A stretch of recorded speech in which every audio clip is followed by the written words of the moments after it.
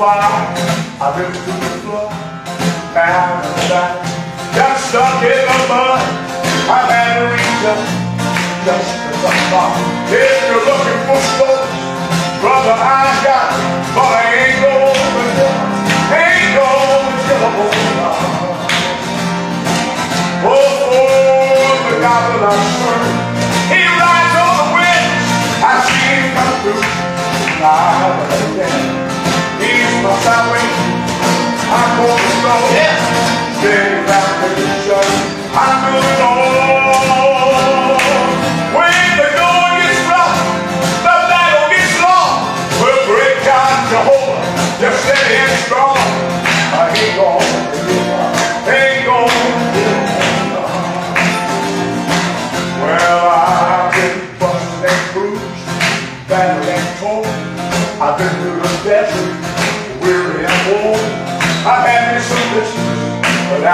May. But in every situation, I had to doubt that I ain't gonna give up, ain't gonna give up God. Oh, you see, the God that I serve will rise on the winds. I see him come through.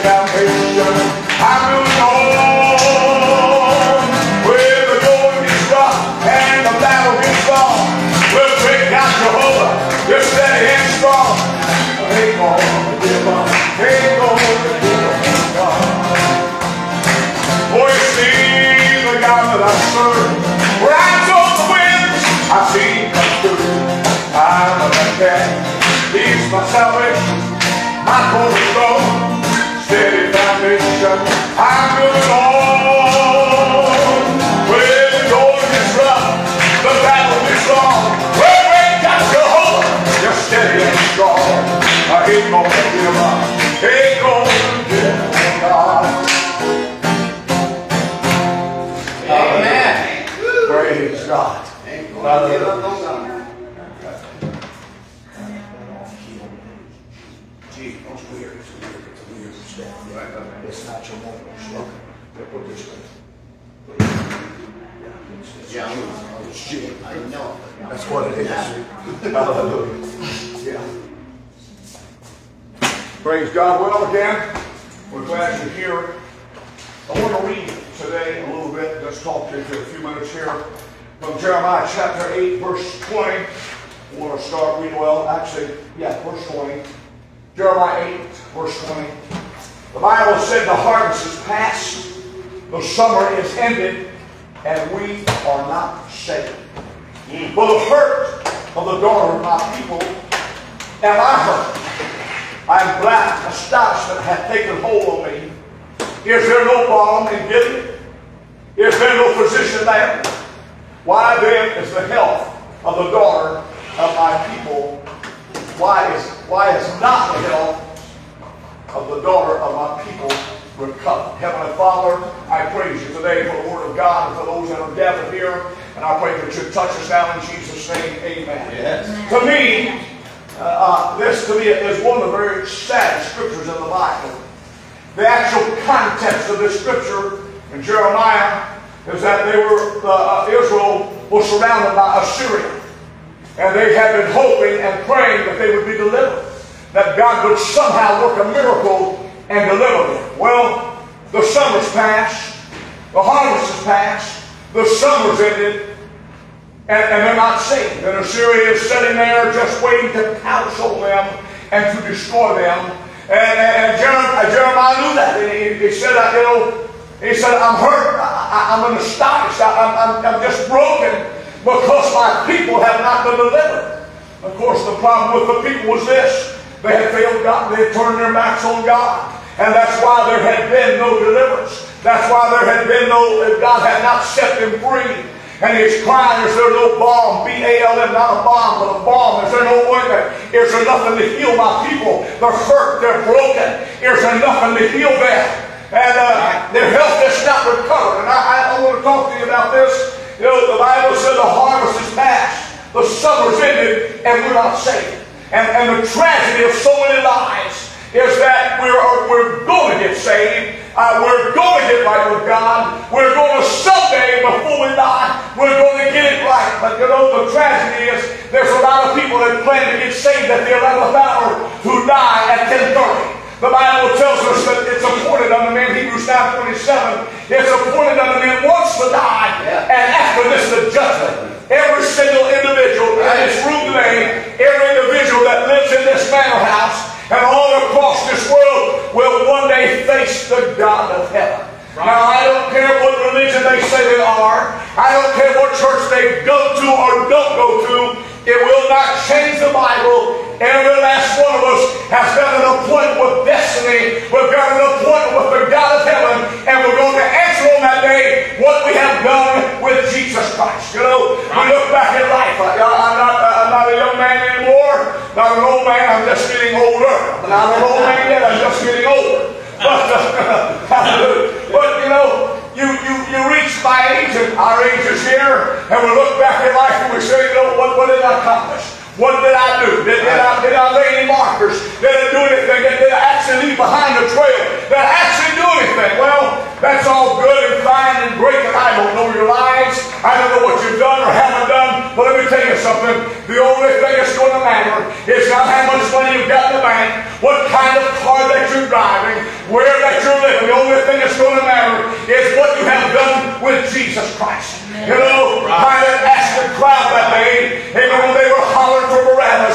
said, What then? What then will I do? With, what, what, I'm, what am I going to do with Jesus, which is called the Christ? And I call that life's most important question. What will you do with Jesus Christ?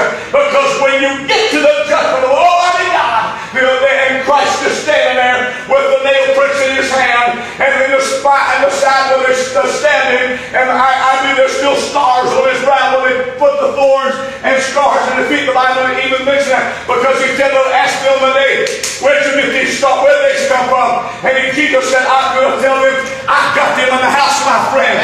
So I believe they're going to be there in heaven. I believe the stale strong hands of Christ will be there. And here's going to be the question that God's going to ask every one of us, what did you do with my son? He came to earth. He died on a cross. He gave his life a ransom for you. He took your penalty. He took your punishment. He took your sin. He took your death. He took your destruction. He took all of the penalties that were against you and bore them on the cross and died for you. And what did you do with him?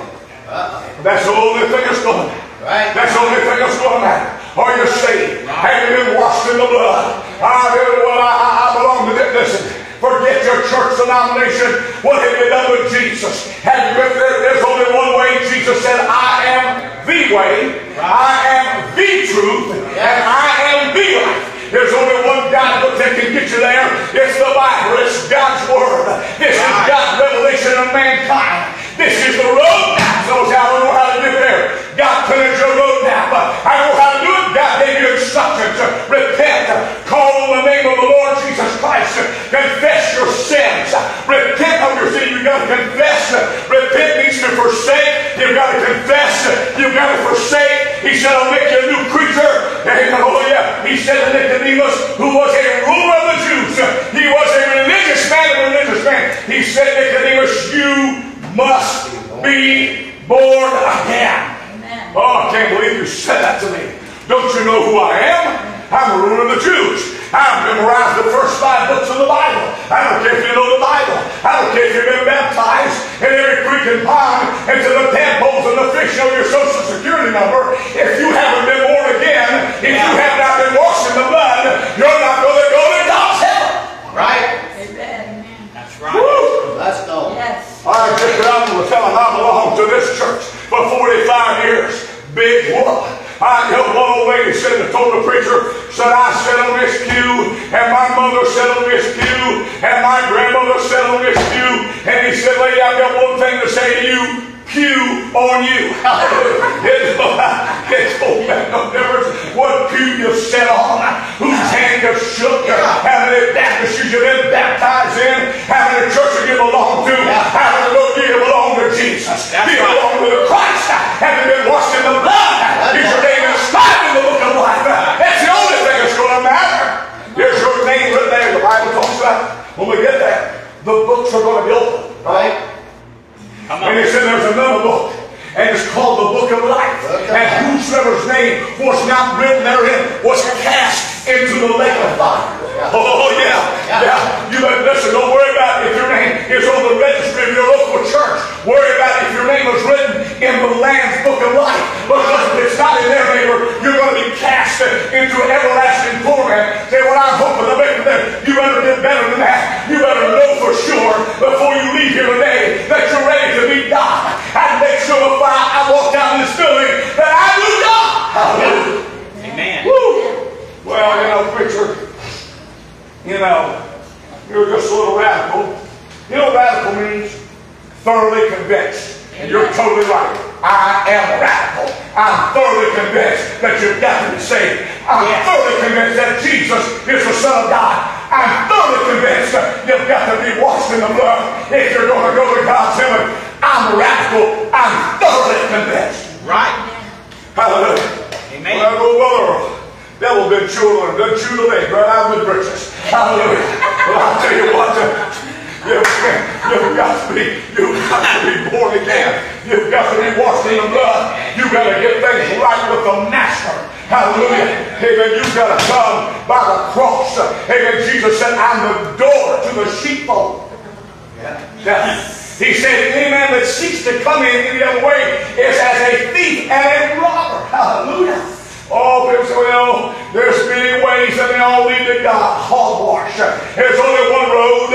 It's the road stained by the shed blood of the Son of God. Yeah. It takes you out to Via Dolorosa. It takes you to the blood-stained tracks of the Master. It leads you out to Mount Calvary where the Son of God died and his blood set in the limestone of Golgotha. That's the only path. That's the only road. That's the only door that'll take you to heaven. Right. Hallelujah. But I've got to make it. I said, I've got to make it, and you've got to make it. Yes. We can't afford to fool around. We can't afford to hope and pray and think that this. No, there is a balm of Gilead. There, there, there is a healing. There is something that heals minds. There's something that heals broken bodies. There's something that breaks the chains of sin. There's something that can heal the drug addict and the drunk and the heart and the broken and the torn and the tormented. There's something that heals them. Yeah. And that's Christ, the Son of the living God. That's right. Never seen a world so broken. I've never seen a world so confused. I've never seen our nation in such turmoil. Never seen it. Amen. They're all trying to find a solution. Well, I, have got the solution. Amen. Make Jesus Christ the Son of the Most High God. Amen. Put him up as the Lord and King of this nation because the Bible said sin is a reproach. Righteousness, righteousness exalteth a nation, but sin is a reproach to any people. And we were took prayer and Bible reading out of the schools. Hello. Yeah. And the Ten Commandments out of schools and off the courthouse walls. Are you still here? Come on out. And we, we, we tried to banish Jesus. It, it, it's so crazy. Yeah. We want to celebrate Christmas and not celebrate Christ. Amen. Uh, figure that out if you can. What's your name, sir? Mark. We'll have a birthday party for Mark. Now, we're not going to mention Mark. We're not going to bring Mark any presents. We're not going to say anything. But we're going to celebrate Mark's birthday, we're going to say, we're going to say happy birthday to Mark. We're going to bring presents to Mark. We're going to talk about Mark. My brother, when Christmas comes, I'm going to celebrate Jesus, the Son of the Most High God. It's his birthday, and I'm going to celebrate it. And the world said we don't want to hear anything about it. We're going to put Xmas. We're going to cross out Christ and cross it all we want to. He'll still be the Son of God. He's still going to be the Master. He's still the King of Kings and the Lord of Lords. He's still the Son of God. He's still the Son of Righteousness, arising with healing in his wings. He's still Jehovah Jireh, the God that sees and provides. He's still Jehovah Shalom, the God our peace. He's still Jehovah Nissi, the Lord our banner. Oh, glory. He's still Jehovah Rapheka, the Lord of healing. They can't take his name.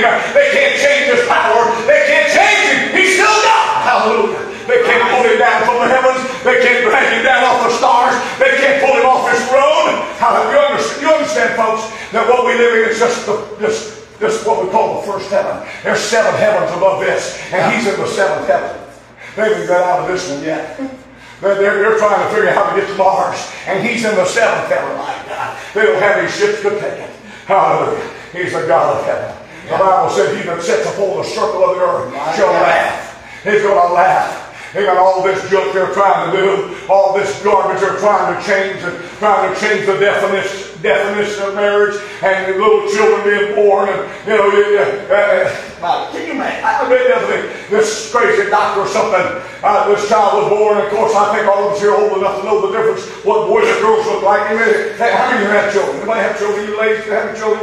You, you know the difference between a man and a girl. You know how out as a boy and girl. Might not being too spill. Uh, so this, this doctor uh, prescribed this child for what it was. What it was. Uh, what its anatomy was. And I think someone, they sued the doctor because he misnamed their child. Come on here. God, come on here. Am I, am I nuts? There's something off my mind. Come on here. I'm going you what God made male and female. They have all the gay prides they want, all the LBGT and all that other crazy nonsense. I'm going to stick with God's word. I'm going to say, I'm going to preach what God said. I'm going to stand on the word of God. The Bible said that heaven and earth will pass away, but my word shall never pass away. And I want to urge every one of us here to make sure we're ready, make sure we're right, make sure we're saved, make sure our name's in the book of life. And if it's not, you can get saved right now. You can get ready right now. The grace of God will save you right here and right now. You can leave this room Yeah. knowing that you have passed from death unto life. Yeah. And that your name has been inscribed Right. in the book of life. Amen. Oh, listen. Don't be, listen, don't be like this writer. Don't be like this writer. Summer uh-huh. past, harvest is ended. I never got saved. Death snuck up on me. It got me. I wasn't ready for it. And it grabbed me. Listen, you better get ready because none of us know the day or the hour. We're, none of us know the moment God's going to call a number. None of us know when we're going to face God. But we better be ready to face Him. I don't know what tomorrow holds, but I tell you what I do know. I do know who holds my tomorrow. And that's Jesus Christ, the Son of God. Heavenly Father, thank you today for the wonderful Word of God, for the attentive audience, God. I pray that you touch our hearts. If there's anyone here that's not saved, anyone here but not ready to go to heaven,